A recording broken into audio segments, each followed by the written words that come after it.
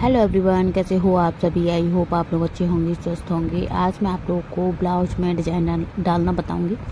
बहुत ही ईजी तरीके से। और ये जो डिज़ाइन है, आजकल बहुत ज़्यादा ट्रेंड में चल रही है। और अगर आपने ये डिज़ाइन बना ली तो आपको बहुत ही प्यारा लगेगा अच्छा लगेगा। क्योंकि आप घर पर ही बना सकते हो इतना प्यारा सा डिज़ाइन और बहुत ही इजी तरीका है इसको बनाने का। तो देखिए, ब्लाउज को मैंने कटिंग करना आप लोगों को पहले ही बताया है। अगर आपने कटिंग की वीडियो नहीं देखी तो देख लेना। और इसको मैंने ब्लाउज़ वाले पीस को उल्टा करके सेट कर लिया है अपने अस्तर वाले पार्ट पर इस तरीके से। और फिर से मैंने आर पिन सेट कर दी है ताकि ये हिले ना। और 11 इंच का मैं निशान लगाऊँगी गले का। पौने तीन इंच का मैंने शोल्डर का निशान लगाया है। तीन इंच का नीचे से निशान लगाया है इसको मैं इस, इस तरीके से सेट कर दूँगी और इसमें आप कोई भी सेप दे सकते हो लेकिन मैं इसमें इस तरीके से थोड़ा सा पान सेप दे रही हूँ। बहुत ही प्यारा सा लुक आएगा इससे।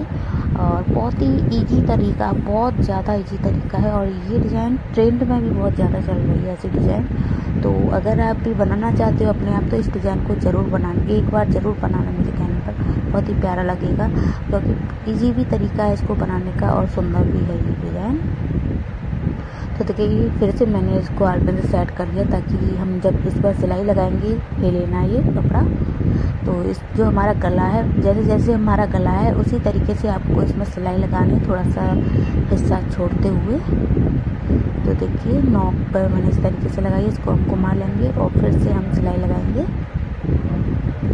और गैस अगर आपको हमारा ये वीडियो पसंद आए तो लाइक करना शेयर करना और चैनल को सब्सक्राइब करके बेल के आइकन को प्रेस कर लेना। मैं आप लोगों के साथ अच्छे अच्छे आइडिया पोस्ट करती रहती हूँ। और अगर आप लोगों को कटिंग की वीडियो चाहिए, इस ब्लाउज की, मैंने कटिंग की वीडियो भी अपलोड की है तो आप मुझे कमेंट कर देना या फिर आपको इसके एंड स्क्रीन पर मिल जाएगी। आप वहाँ जाके मतलब लास्ट में जब ये वीडियो ख़त्म होगी ना तो ऑटोमेटिक वो आ जाएगी तो आप वहाँ जाके देख लेना। तो देखिए, मैंने चारों तरफ़ गले पर कट्स लगा दिए हैं। अब पहले हम नीचे की साइड में भी एक सिलाई लगा देते हैं। ताकि ये नीचे से भी पैक हो जाए।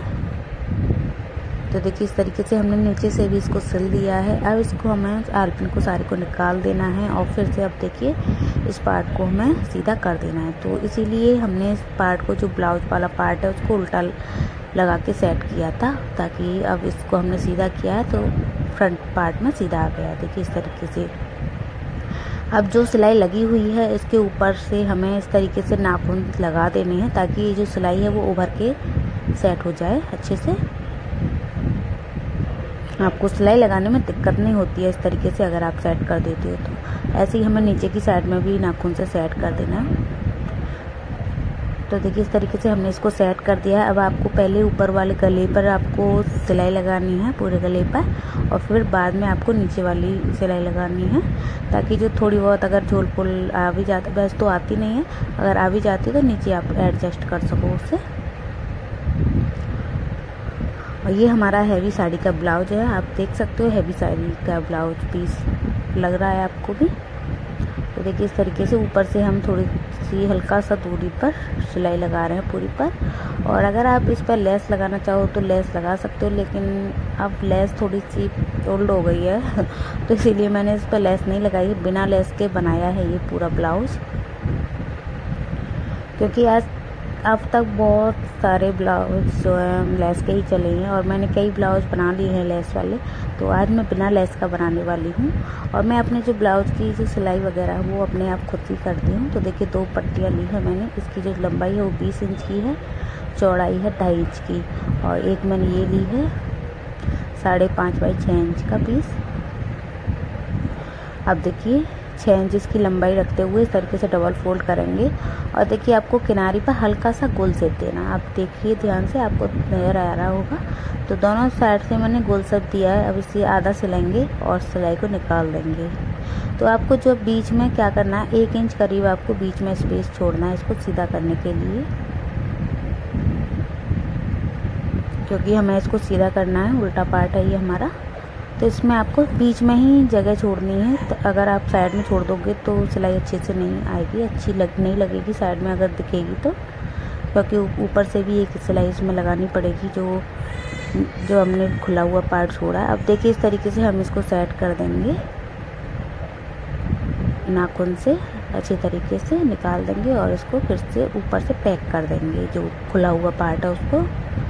तो ये हमारा पार्ट रेडी हो गया। अब देखिए दूसरे वाले पार्ट को भी हम कर लेते हैं रेडी तो देखिए अच्छी तरीके से हमने सेट कर दिया। अब इसे हम फोल्ड करेंगे उल्टी साइड से। और इसे कोने पर से आपको इस तिरछा सिलाई लगानी, तिरछे। और आपको फिर सीधी सिलाई लगानी है इस तरीके से। और बीच में से निकाल देना है। ऐसे ही हमें दूसरी साइड से भी सिलाई लगानी है, तिरछी। इस तरीके से फोल्ड करेंगे, तिरछी सिलाई लगाएँगे इस तरीके से। तो ऐसे करके सीधी सिलाई लगा देनी है और जहाँ हमने छोड़ा था, वहाँ से आपको केवल एक इंच का गैप छोड़ना है। तो इस तरीके से मैंने सिलाई लगा दी है जो हमने एक इंच करीब छोड़ा है इसमें बीच में पार्ट, वहीं से आपको इसे सीधा कर देना है। दोनों तरफ़ से बहुत ही इजी तरीके से हो जाएगा। तो आप किसी भी पेचकस की सहायता से या किसी की भी सहायता से कर सकते हो। देखिए सुई में पिन की सहायता से इसकी नोक को निकाल रही हूँ। क्योंकि नोक नहीं निकल पा रही थी, मैंने पेचकस से किया था इसको सीधा इसीलिए।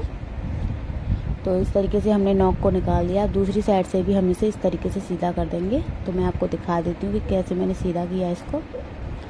देखिए, पेचकस से मैंने इस तरीके से अंदर से करती जा रही हूँ और ऊपर से अगर नहीं हो तो आप ऊपर से भी खींचते जाना। और देखिए, इधर से भी मैंने सेट कर दिया। अब जो बचा हुआ पार्ट है, उसको भी हम इस तरीके से सिल देंगे। तो बिल्कुल बारीक सिलाई लगानी है आपको किनारी किनारी, ताकि आपकी ये सिलाई है वो दिखे ना।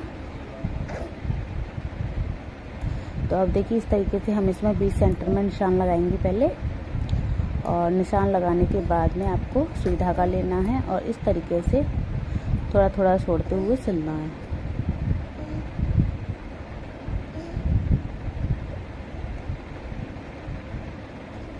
और ये हमारा फ्लावर शेप में बन के रेडी हो जाएगा। इस तरीके से हमने सिल दिया। अब इसमें आप नोट लगा देना अच्छे से।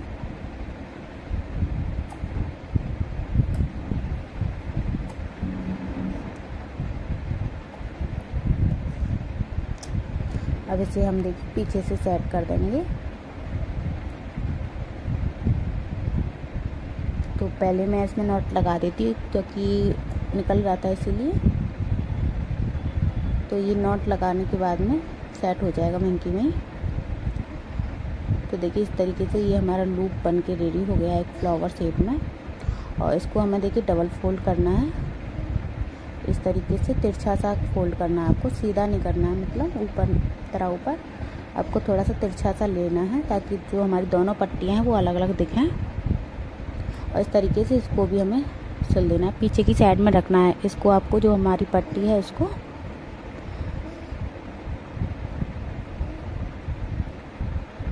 तो ये हमारा इस तरीके से फ्लावर रेडी हो जाएगा एक लूप अब देखिए आपको क्या करना है? अब आपको ब्लाउज लेना है अपना, और यहाँ पर इसको सेट कर देना है।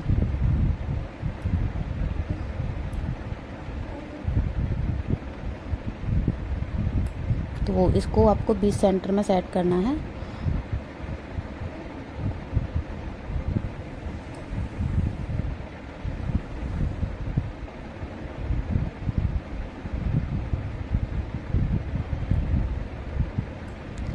तो देखिए, अच्छी तरीके से आपको सिलाई लगा देनी है ताकि ये निकले ना। और ये मैंने सिलाई लगा के सेट कर दिया है। अब इसके ऊपर कोई भी आप फ्लावर वगैरह या फिर बटन हो आपके पास, कुछ भी मतलब मैचिंग का हो लेकिन तो वो आपको लगा देना है। या फिर फ्लावर इसमें से छोटा सा बना के भी लगा सकते हो, अगर आपके पास कुछ भी नहीं है तो। बटन वगैरह नहीं है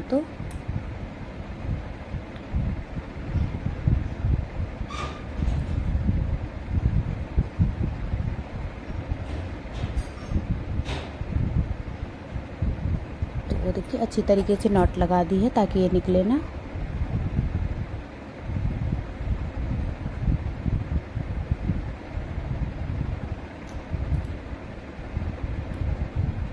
ये हमारा ब्लाउज का डिज़ाइन रेडी है। अब ऊपर से हमने फ्लावर लगा दिया इस तरीके से। बहुत ही प्यारा सा लुक आया है इसमें। बहुत ही ज़्यादा अच्छी लग रही है ये डिज़ाइन। मुझे तो बहुत ही ज़्यादा पसंद आई है। आपको कैसी लगी? आप भी कमेंट करके ज़रूर बताना। अगर वीडियो पसंद आई हो तो लाइक करना, शेयर करना और चैनल को सब्सक्राइब कर लेना। फिर मिलेंगे एक नई वीडियो के साथ। Bye bye take care.